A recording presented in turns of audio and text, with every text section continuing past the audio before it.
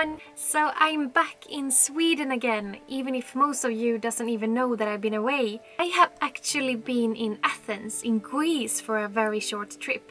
And I just came home very early this morning on Thursday.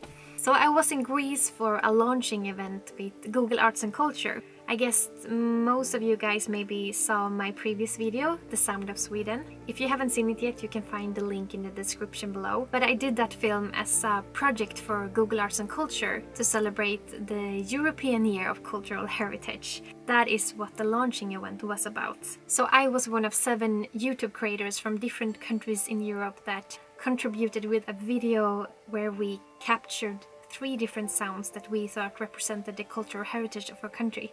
So I was invited to this event in Athens to represent Sweden. So it's been some really intense days this whole week and also the week before because I was actually pretty nervous before this event. I didn't film as much as I wish I would have done, but of course I have filmed a little and I thought I would tell you a little about this journey and what I've done and the wonderful people that I've met. So I started the whole journey on Monday morning after not sleeping anything because my plane was leaving 6 in the morning from my closest city and so I had to go up like 2.30 in the night. Good morning, it's 3.30 in the morning or night. Today I'm going to Greece.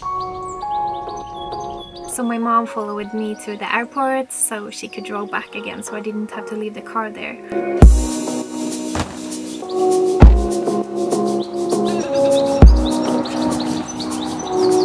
syns röken? And I had a pretty long journey ahead of me. I had to catch three different flights that day to get to Athens. I I don't really like flying. I'm I'm kind of scared of flying actually. I try to avoid it as much as I can, but I still doesn't want my fear to stop me from traveling. After a long journey, I was picked up by a taxi driver on the airport in Athens. And I finally came to my hotel room, a really nice hotel in the middle of the city of Athens.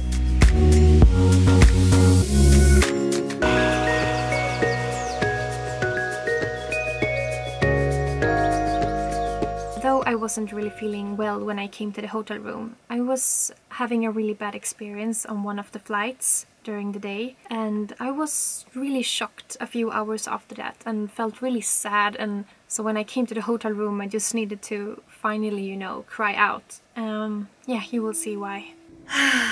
I'm so exhausted. It's been a really weird day. Well, first of all, I'm just super tired. You know, traveling is, is draining. But, I mean, I can take that. There's no problem. But I definitely had the worst flight of my life today.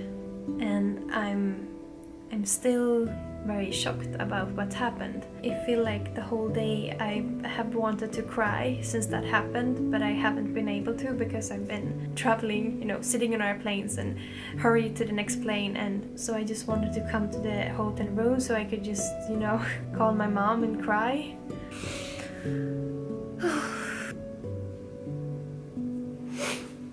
so what was happening on the airplane is that there was an old man that died. He and his wife were sitting like on the other side of me on the airplane and um, suddenly he just loses his consciousness. The airplane staff tries to wake him up and it doesn't work so uh, they put him on the floor and you know try to rescue him with heart rescue and the lung rescue and everything. From the first second as I saw him unconscious, I just got a feeling that he's gone. So after a while, his wife uh, sat beside me and I could just see how shocked she was. You know, when you want to say something but you don't even know what to say and I was so shocked myself. I'm sorry. Uh, I guess I just saw everything so close. I had like the first seat in the airplane so I just saw everything and everything felt so unreal. And you know, this absurd situation when the plane was too late and everybody was a bit stressed out about missing the plane and I was too. But a man just died. I just felt so bad taking my bag and leave.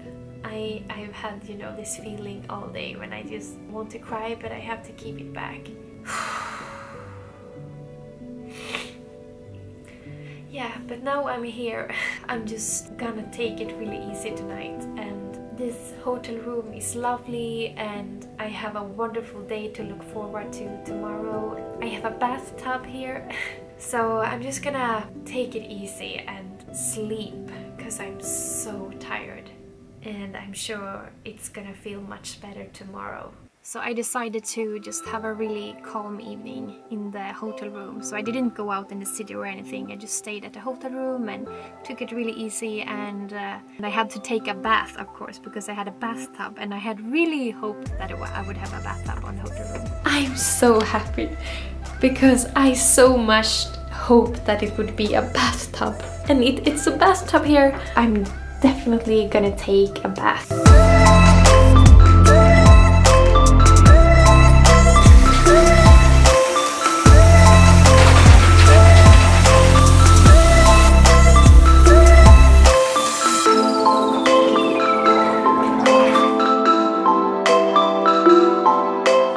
That I just spent some time preparing for the event the next day. We, the YouTube creators, were gonna be in a panel talking about the cultural heritage and, you know, our thoughts about the films that we made and I just wanted to prepare a little bit for that. After a really good night's sleep, I woke up again feeling much better than the day before. Hey everyone! So now it's another day, it's Tuesday and I'm about to leave now. I'm gonna meet up the rest of the team and the other creators and I haven't even left this room since I got here. Around 2 in the day I was gonna meet up with some people from the Google team and uh, the other YouTube creators. We were gonna have a lunch. I am already lost. There is so many people here in this city and it's very warm. Thank you mama for telling me to bring my sandals.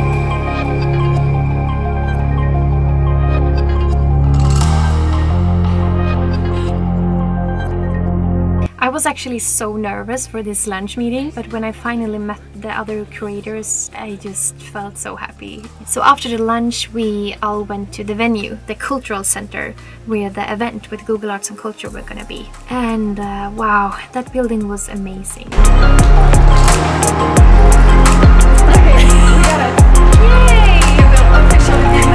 Everything was just made up really nice. I quickly found really good friends in the other YouTube creators. So the other creators was Kostas Maliatsis from Greece, Venetia Kamara, also from Greece, and Chuki Beats from Belgium and his friend Dries, also from Belgium, and Charlie Danger from France, and Chris Gonciarz from Poland.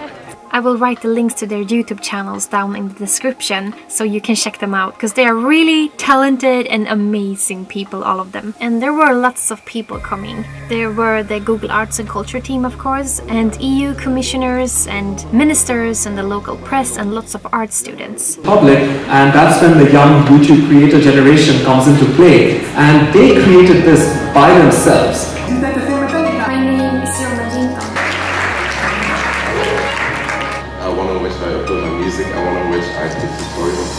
A French uh, YouTuber, and uh, my channel is about archaeology and history. Like, I was inspired by the old parts of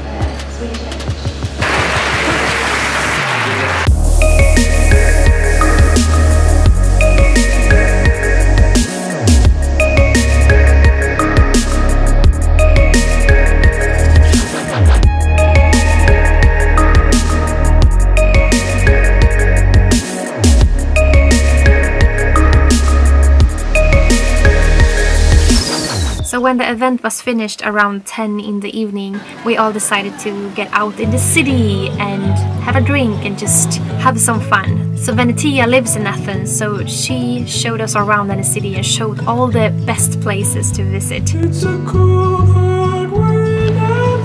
This is so beautiful!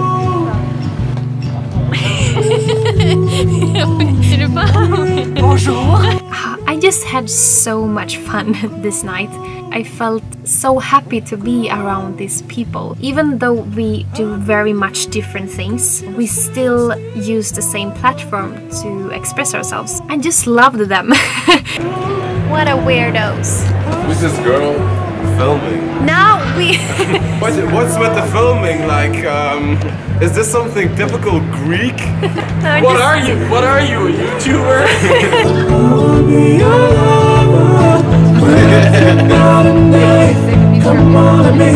It was really hard to say goodbye to them because I know that many of them I will probably never meet again. Even though you always say that, yeah, we're gonna meet again, we have to meet again, but I know that that doesn't really happen so often. If not, we will still keep in touch on the internet, of course. Into a street, I know it's incredible. I know. I know. you may now kiss.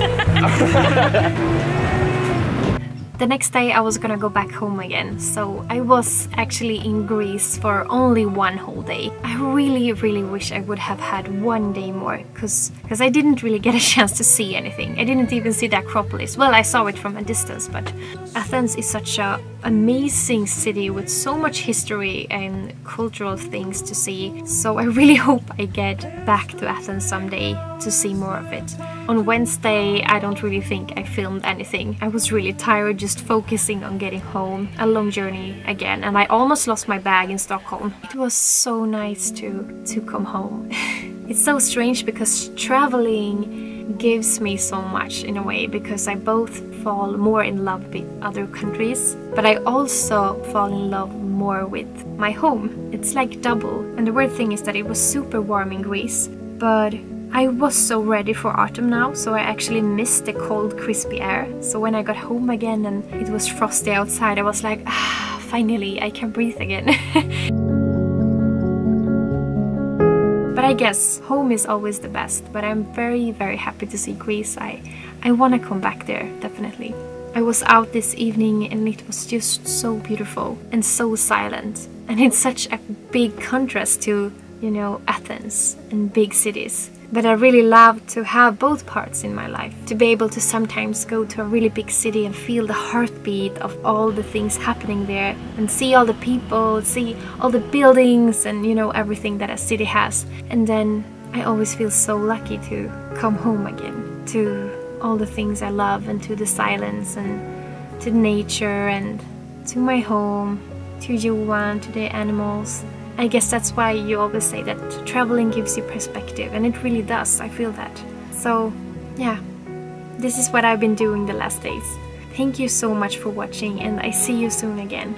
Mwah!